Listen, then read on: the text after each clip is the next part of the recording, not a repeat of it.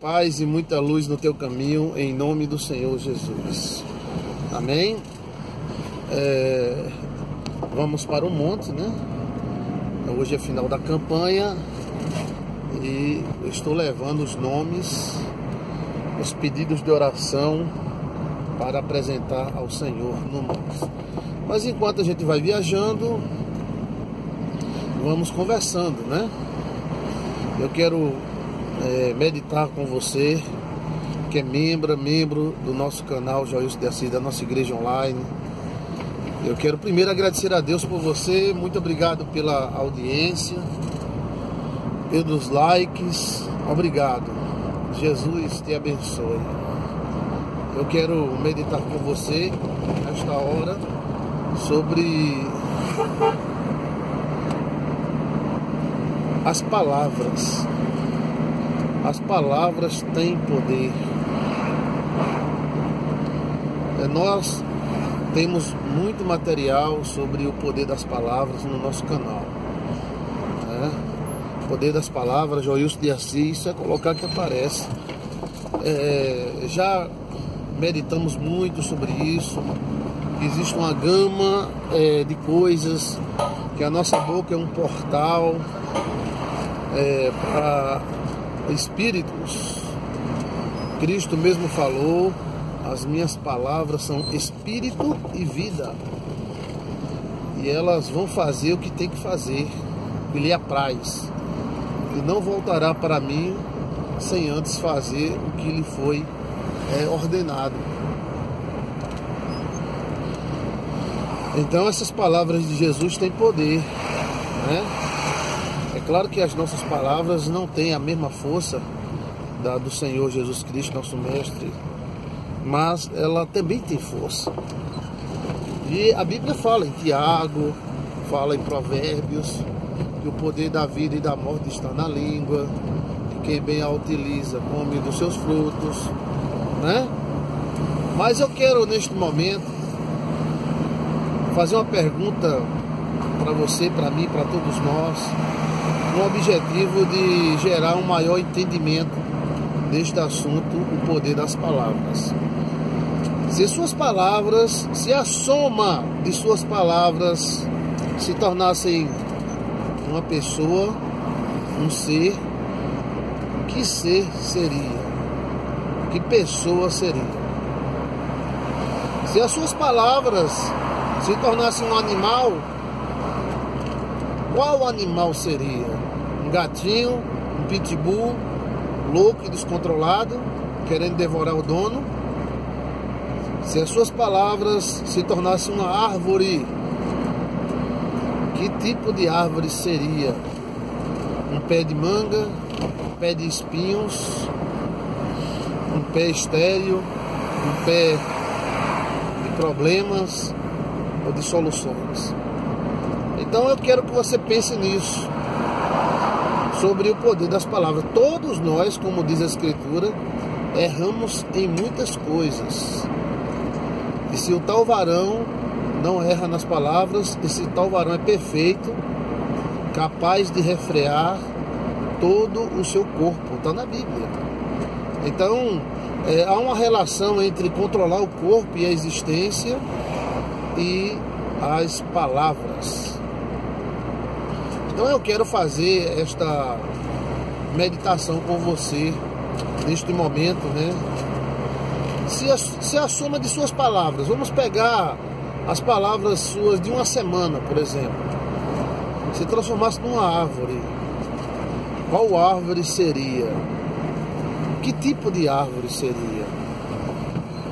Podemos dizer o seguinte: pessoas que falam muita besteira e que se maldizem muito, essa árvore seria um pé de cardo, um pé de espinhos.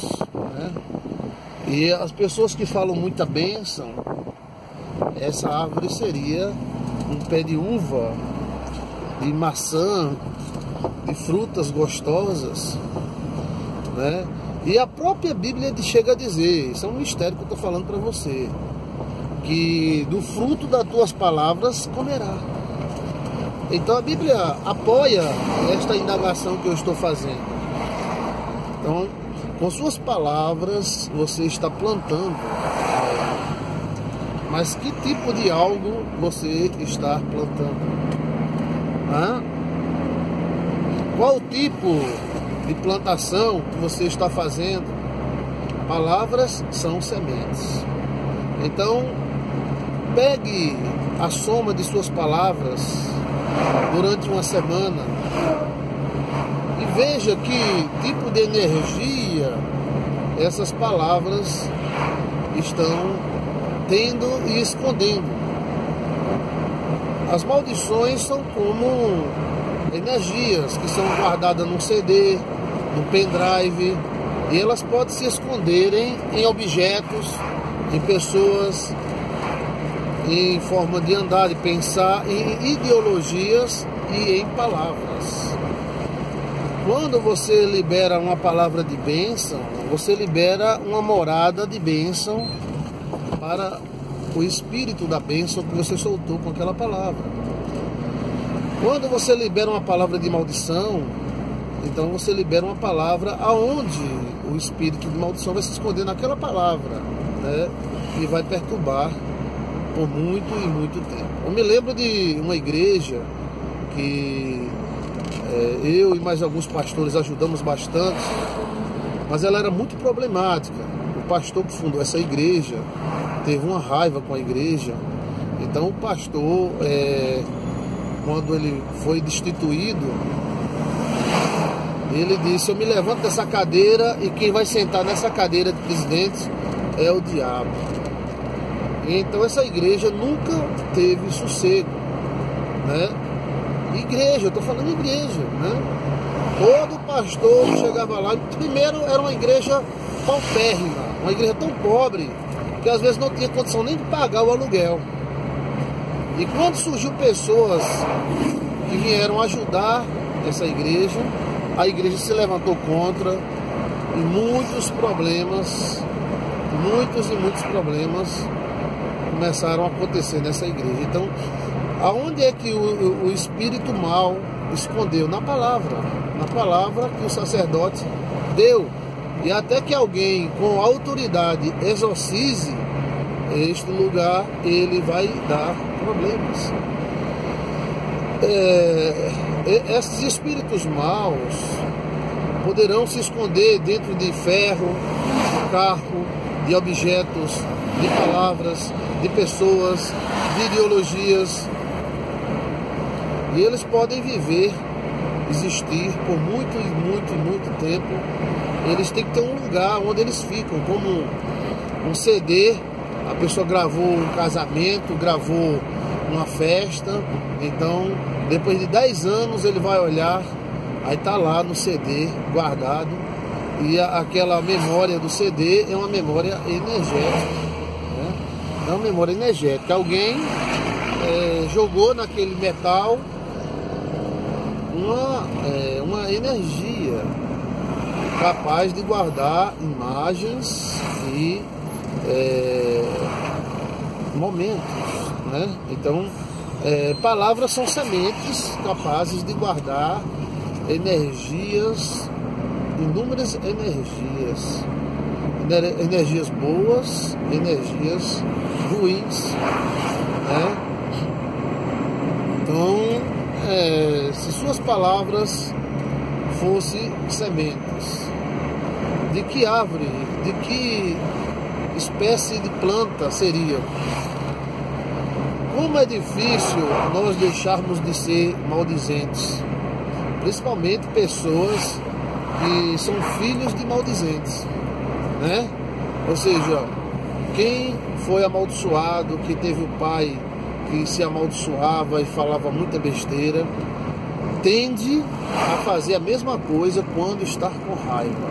Isso é uma tendência. Né? Já tratei de pessoas que chegavam a se bater porque na hora da raiva eles amaldiçoavam até o céu, até Deus eles amaldiçoavam, mas porque o seu pai e a sua mãe faziam do mesmo jeito, e quando vem a raiva, então o instinto do maldizente surge nele, mesmo contra a sua própria vontade.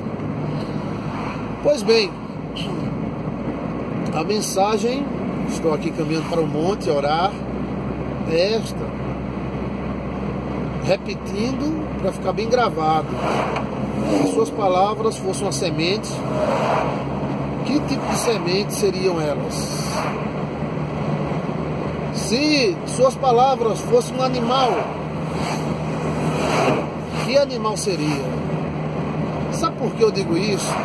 Porque às vezes o homem ele é afligido pelas suas próprias palavras. Quantas mulheres mandam seu marido embora, manda embora, manda embora, manda embora, diz que, que não quer mais, manda embora. Chega uma hora que ele diz for e não volta mais. Então ela cai em si, fica e fica e fica, mas não tem mais jeito. Porque as palavras já foram semeadas. O objetivo do nosso ministério é libertar as pessoas. Queremos pregar a palavra da libertação. Acreditamos na libertação. A libertação é esta: é que a pessoa que joga é, sementes de espinhos na sua vida, pare, pare de jogar. E agora jogue coisas frutíferas. Existem inúmeras é, notícias, reportagens, situações que querem que você pegue essa energia e utilize na sua própria vida. Palavras são energias, elas podem se esconder. Os egípcios sabiam disso. Sabe o que os egípcios faziam? Sabe não, né? Você sabe que a maioria das pessoas que descobriram múmias morreram de mortes estranhas. Mas não sabe por quê. Eles pegavam uma pedra, escreviam uma inscrição e amaldiçoavam essa pedra, energizavam com maldição. Aí tem lá na pedra, morrerá toda pessoa que achar ou mexer nesse corpo, dadadá, como fosse uma sentença. Aí lá vai o cara atrás de tesouro, atrás de, da história, aí encontra a múmia e ele olha para a inscrição, mesmo que ele não leia, aquela pedra está energizada como um CD. Né? Tem gente que não acredita em energia má, como é que acredita num CD? Aqui está um CD, aqui está um pendrive. Você abre o pendrive e não encontra nada. Energia. Ah, o pendrive é uma maneira que nós encontramos de guardar energia. Energia com informação. Então, o que é maldição? Energia. Energia com informação. Que pode se esconder nos ossos, que pode se esconder numa árvore, pode se esconder numa pedra, depende da pedra. Então eles pegavam a pedra e.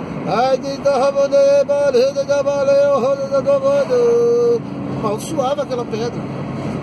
Então o colonizador pegava, abria o caixão da múmia, olhava para a pedra, tentava discernir é,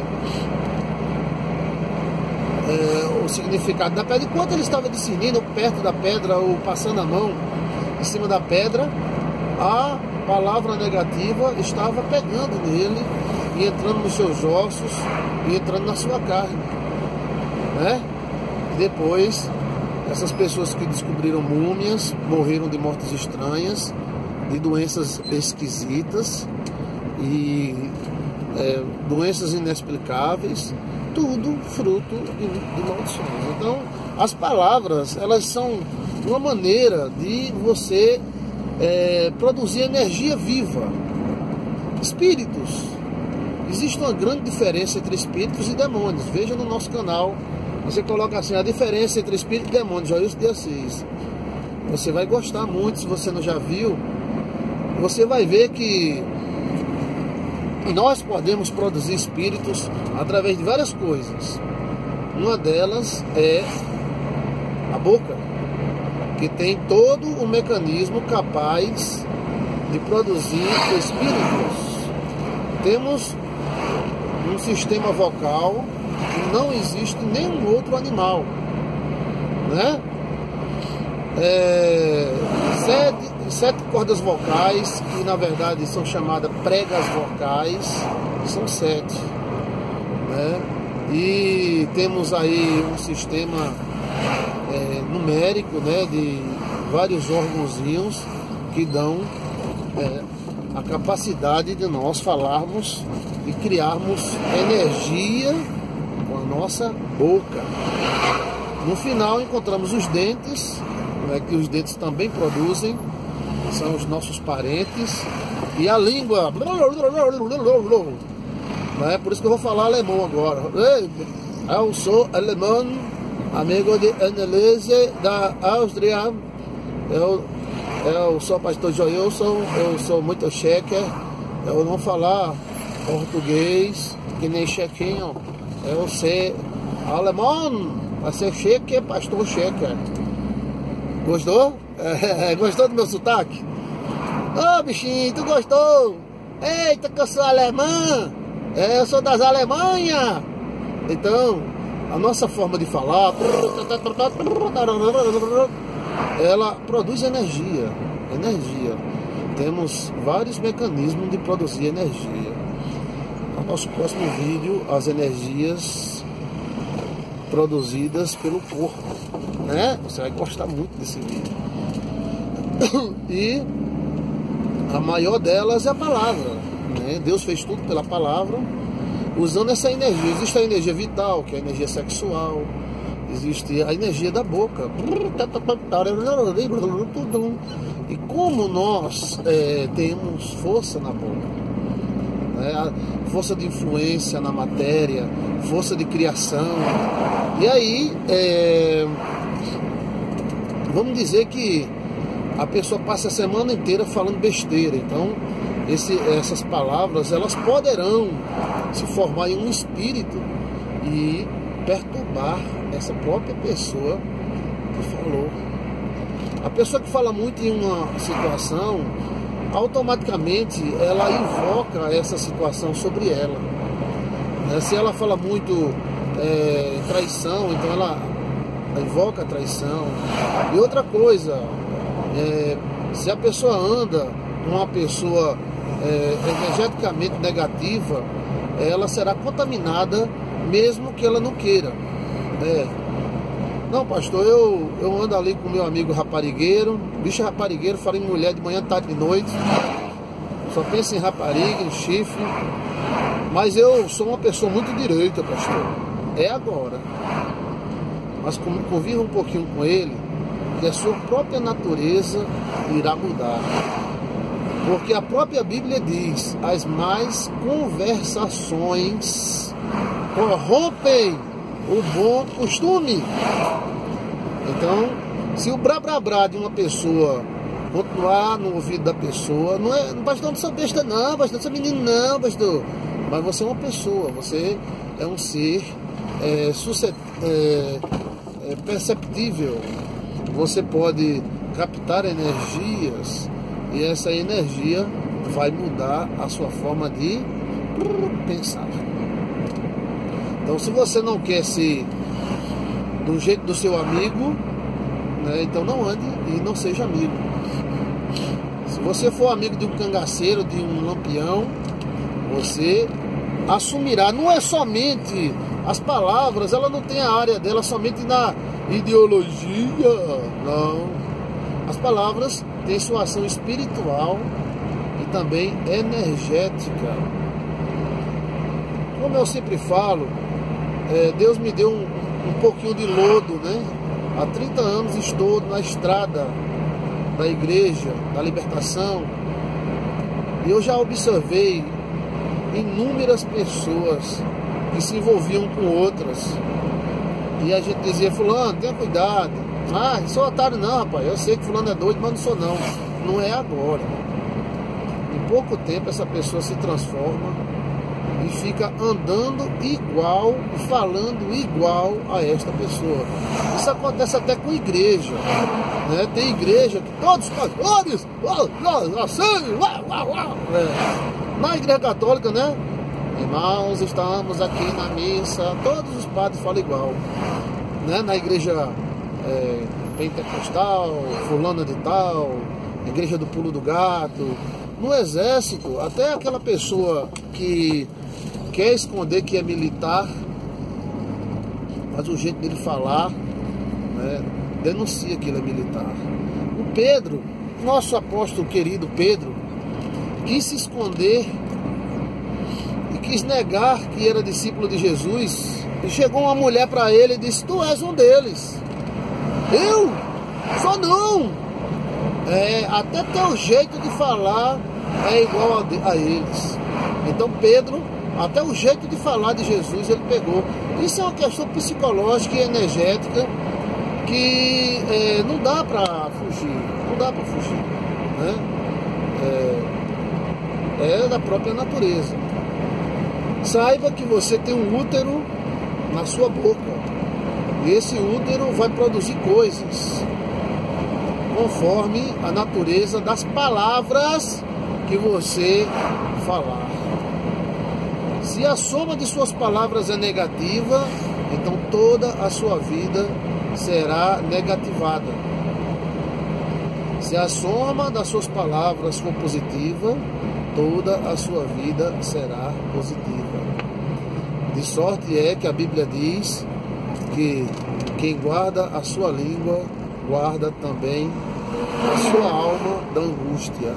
Não é questão de falar besteira, é questão também de falar besteira, mas é que é, quem guarda a sua língua guarda a sua vida da angústia, é porque a pessoa que guarda a sua língua e fala coisas boas, ela não tem angústia, porque ela não está falando nisso, né? Ela não não invoca isso porque ela não fala. Então, a soma de suas palavras será a sua vida e podemos produzir anjos ou demônios, vamos dizer assim, né? Com a boca. Isso me faz lembrar de um grupo muito famoso de cantores que falava muito em queda de avião. E eles morreram de queda de avião. Então, Preste atenção no que você fala. Isso é independente de religião. Pastor, eu não sou crente, não. Eu não estou falando. Não estou nem pedindo para você ser crente ou deixar de ser crente. Eu estou dizendo que você vai ser feliz. E Jesus é teu guia, é o nosso guia, a nossa vida. E Jesus quer que você viva bem, seja bem sucedido na vida. É, os demônios querem que a pessoa se amaldiçoe, se auto-amaldiçoe, jogue praga. Né? Então ele fica soprando. A Bíblia diz que a língua é excitada pela, pelo inferno. O inferno nós traduzimos teologicamente que é o escritório do diabo. Então, qual é o interesse do escritório do diabo que a pessoa se amaldiçoe e fale merda? É legalidade. A legalidade, ela pode transformar a vida de uma pessoa em um inferno em vida. Então profetize, você quer levantar uma casa, fale, eu vou levantar, eu vou conseguir, eu vou chegar, vai dar certo. Profetize, fale coisas boas. E lembre-se que o inferno está excitando, tocando fogo na língua. Porque ele precisa de legalidade. E a legalidade pode ser dada com a boca.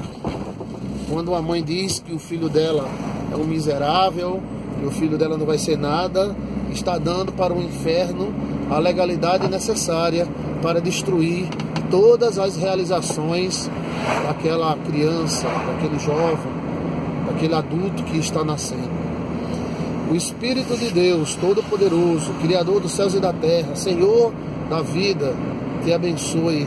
e lança uma palavra de vida sobre você toda vez que você estiver falando muito, pense o que estas palavras podem parir na minha vida, o que essas palavras podem provocar na minha vida, que tipo de árvore eu estou plantando falando essas coisas.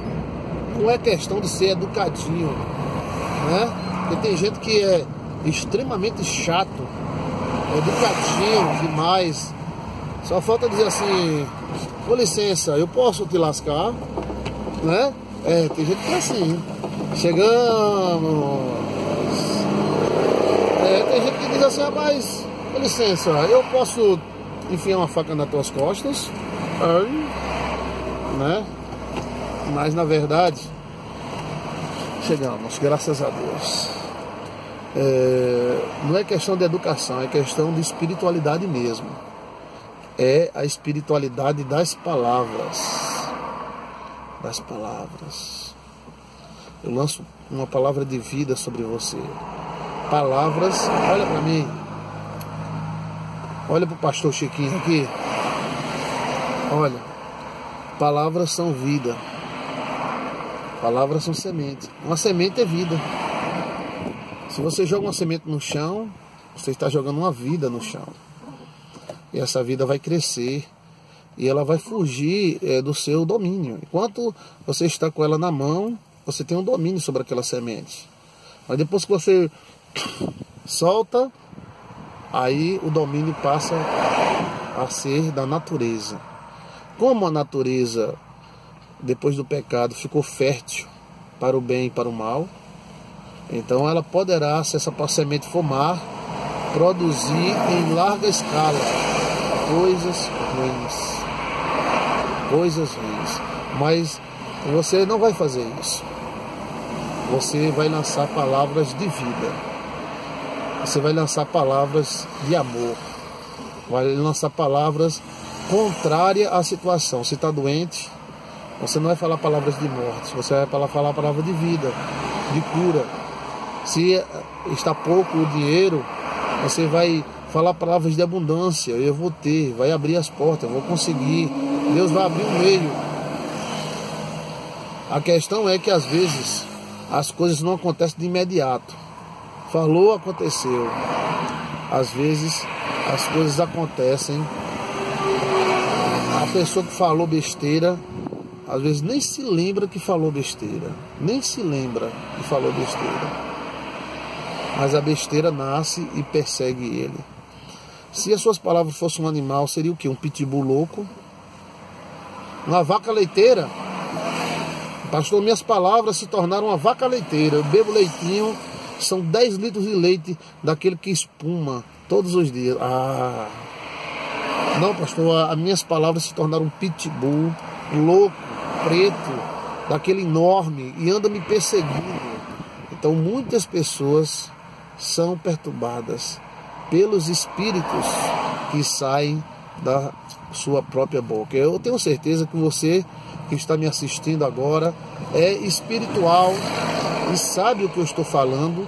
Você pegou já na meada o que eu estou falando. E o objetivo é para você viver bem. Pastor Joilson quer que você viva bem. Pastor Joilson quer que a mulher casada viva bem com o marido. Pastor Joilson quer que a vontade de Deus se cumpra na tua vida. E a vontade de Deus é boa, perfeita e agradável. Não tem palavra vontade de Deus ruim. Vontade de Deus é boa, perfeita e agradável.